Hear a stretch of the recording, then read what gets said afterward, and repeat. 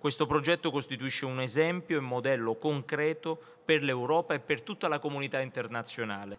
In questa congiuntura internazionale veramente difficile che anche Alexander citava prima, il modello altoatesino di dialogo e di convivenza pacifica è quanto mai rilevante, specie pensando all'aggressione russa in Ucraina e ai possibili assetti futuri.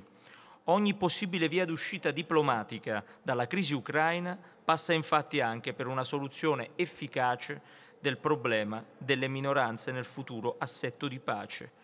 Il modello altatesino ha suscitato una crescente attenzione internazionale perché si propone come un esempio virtuoso di dialogo e di soluzione consensuale delle controversie e un modello di riferimento in termini di protezione e convivenza pacifica delle minoranze nell'ambito di uno sviluppo armonioso e sostenibile. So ein Erfolg ist nie ein Selbstläufer. Un successo come questo non viene da solo e non è mai scontato. L'impegno deve essere costante per evitare una pietrificazione dell'autonomia, altrimenti corre il rischio di erodere. L'autonomia deve restare flessibile, efficace e deve essere adeguata. Dobbiamo farci carico di questa responsabilità.